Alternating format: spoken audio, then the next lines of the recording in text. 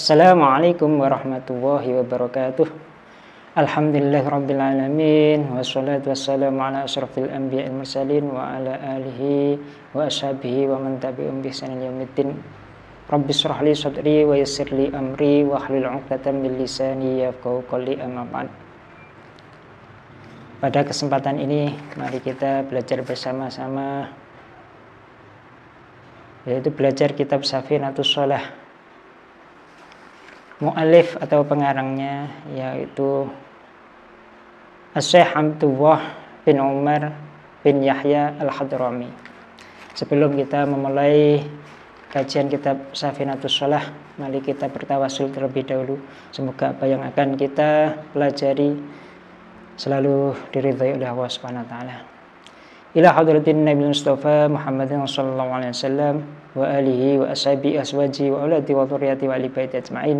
Summa ila hadrati jamil anbiya il mursalin wal awliya wa syuhada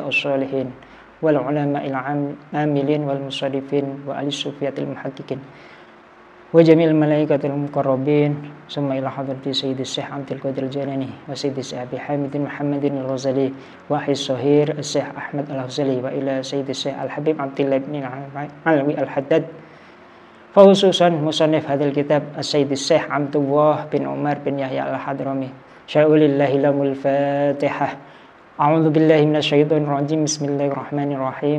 الحمد لله رب العالمين الرحمن الرحيم مالك يوم الدين. إياك نعبد وإياك نستعين اهدنا الصراط المستقيم. صراط الذين أنعمت عليهم غير المغضوب عليهم ولا الضالين آمين.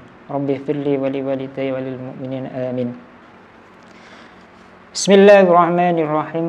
قال المصنف رحمه الله تعالى ونفعنا به وبعلومه bi'ulumihi wa amaddana bi asrarihi wa a'adana min barakati fid darain. Amin. Bismillahirrahmanirrahim.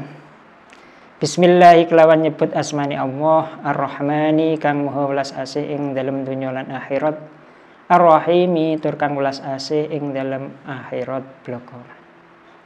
Kiai Musonef mengawali mengarang kitab ini dengan membaca Bismillahirrahmanirrahim Alhamdu utawi sekabe puji iku lillahi kagungane Allah Rabbil alamina kang mengirani wong alam kabeh. Wassalatu utawi rahmati Allah wassalamu lan ruba-rubani Allah iku ala sayyidina muga tetep ing atase bendoro kita Muhammadin rupane Nabi Muhammad wa alihi lan keluargane Nabi wa ashabihi lan sahabate Nabi ajma'ina halis kabehane. Nah, setelah Kiai Musonef membaca basmalah, mengucap hamdalah kepada Allah, mengucapkan salam kepada junjungan kita Nabi Agung Nabi Muhammad SAW kepada keluarganya dan kepada seluruh sahabat-sahabat Nabi. Bismillahirrahmanirrahim. Awaluma utawi kawitane barang yajibu kang wajib apa ma ala kulli muslimin ing atase saben-saben wong Islam. Iku i'tiqadu makna syahadatain nekotake maknane syahadat loro. Wa tasmimu qalbihi lan ngantepake atine wong Islam ngalaihi ing atase maknane asyhadatain jadi yang pertama yang wajib bagi setiap orang Islam di sini yaitu orang Islam orang yang ngakil dan balik sudah berakal akalnya akal sehat dan sudah balik dia mempunyai kewajiban yaitu apa, mengucapkan kedua kalimat syahadat. Yakin yakin. Dan apa itu? Menetapkan di dalam hatinya. Artinya apa syahadat kedua kalimat syahadat. Wa makna utawi maknane wa makna asyhadu an la ilaha illallah utawi maknane lafaz asyhadu an la ilaha illallah. Asyhadu nekseni ingsun an ing stune kelakuan iku la ilaha ora ana pangeran kang wajib den sembah iku maujud illallahu angin Gusti Allah. A'lamu ngawurwi ingsun wa takidulan nekota e ingsun biqalbi kelawan ati ingsun. Wa ubayinu lan nerangake ingsun li hoiri maling liyane ingsun. An ing stune kelakuan la ma'budah ora ono zat kang den sembah. Bihakin kelawan hak fil wujudi ing dalam wujude illallah kejaba Gusti Allah. Jadi kewajiban yang pertama jadi orang Islam tadi wajib meyakini isi atau arti dari kedua syahadat. Artinya lafat asyhadu alla ilaha illallah saya yakin bahwa tidak ada Tuhan yang wajib yang berhak disembah kecuali Allah Subhanahu wa taala. Wa annahu lan setuni Allah iku honiyun semuge ngama saking barang siwahu kang sakliyane Allah. Dan sesungguhnya Allah itu tidak membutuhkan kepada yang lainnya. Muftakirun tur iku butuh ilaihi maring Allah apa kullu sekabe barang ada hukang sakliyane Allah. Nah, sebaliknya semua yang aja yang ada yang maujud itu pasti membutuhkan Allah. Mutasifun tur iku persifatan bikulli kamalin kelawan sekabehane sifat kasampurnan munazzahun tur ikutin bersihake ngan kulli naksin saking saben-saben sifat kekurangan. Jadi Allah itu bersifat dengan kesempurnaan. Jadi tidak ada kekurangan. Allah itu maha sempur, sempurna. Dijauhkan dari sifat kekurang kekurangan. Wa ma khotoro lan ora merentek sapa Gusti Allah bil bali ing dalam ati lam yattahid ora mundut sapa Allah sahibatan ing garwa wala waladan lan ora ing putra dan Allah tidak punya istri dan tidak punya anak wala yumasilu. Lan ora madani Allah. Fi dzati ing dalam dzati Allah. Wa sifatihi lan pira-pira sifati Allah. Wa af'alihi lan piro-piro penggawene Allah. Ahadan ing wong suwiji. Dan Allah itu tidak ada yang menyamai di dalam zat di dalam sifat maupun perbuatannya. Jadi selain Allah tidak ada yang sama wa makna asyhadu anna muhammadar rasulullah Wa makna asyhadu anna Muhammad Rasulullah utawi maknane lafat asyhadu anna Muhammad Rasulullah. Asyhadu nakseni ingsun anna Muhammadan ing setune Nabi Muhammad iku Rasulullah utusane Allah. A'lamu ngawari ingsun wa a'taki dulan nekote ingsun biqalbi kelawan ati ingsun.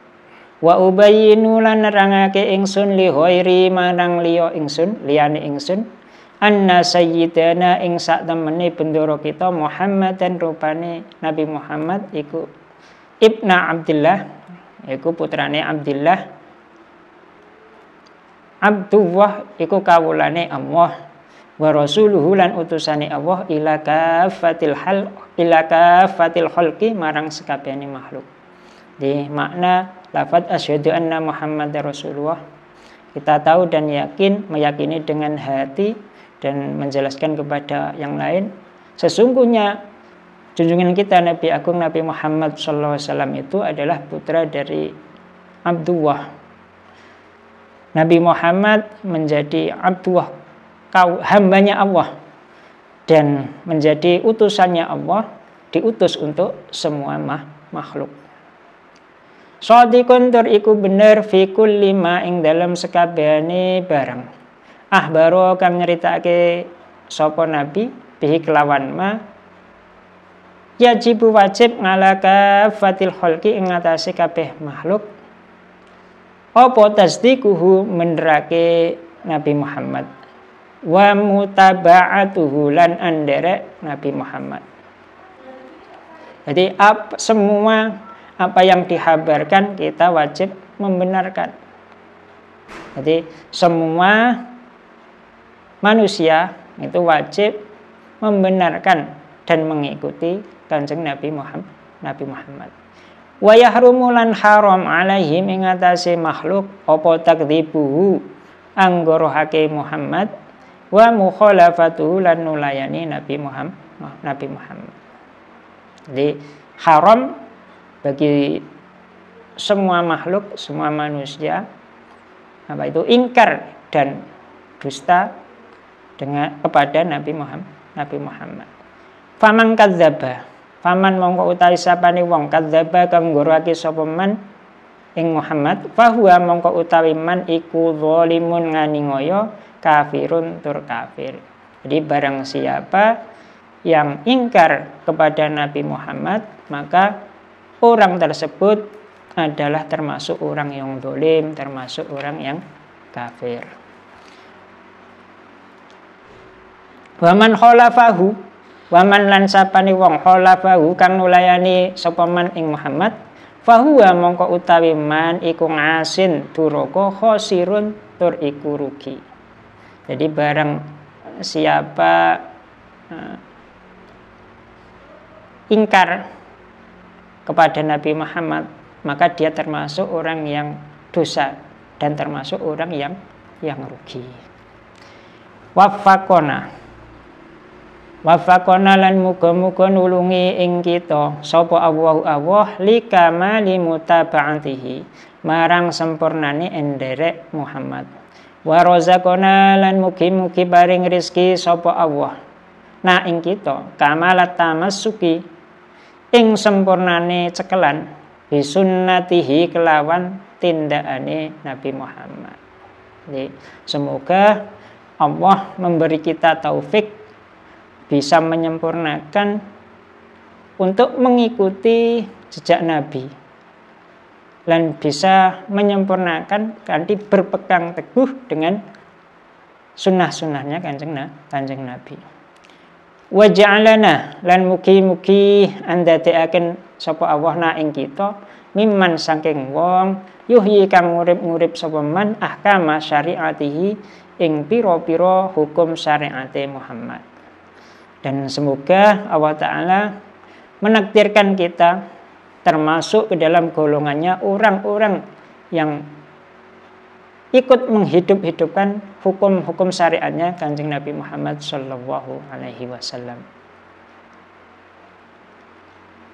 Watawafana lan mugi-mugi mejahi sopo Allah na ing kita ngalamil latihi ing atase agamane Muhammad.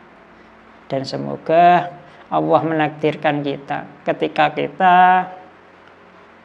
diambil nyawanya alias mati semoga kita tetap dalam keadaan iman. Iman kepada Allah iman kepada Nabi Muhammad Nabi Muhammad.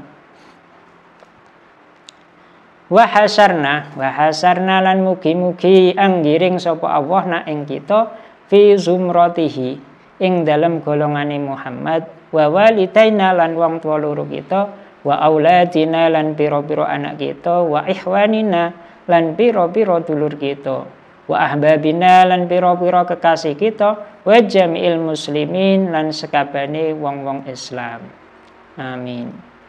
Dan yang terakhir serta kita kumpul dikumpulkan termasuk ke dalam golongannya Kanjeng Nabi Muhammad. Termasuk juga orang-orang tua kita, anak-anak kita, teman-teman kita, dan orang-orang yang suka kepada kita. Dan semua kaum muslimin, muslim, muslimat. Amin ya rabbal alamin. Summa yajibu alaihi ayat ta'allama surutus salat wa wa'alam bisawab. Demikian mungkin nanti kita lanjutkan di kesempatan yang lain. Kita akhiri dengan doa kafaratul majlis. Subhanaka Allahumma wa bihamdik asyhadu an la ilaha illa anta astaghfiruka wa atubu ilaik. Billahi taufiq wal hidayah. Assalamualaikum warahmatullahi wabarakatuh.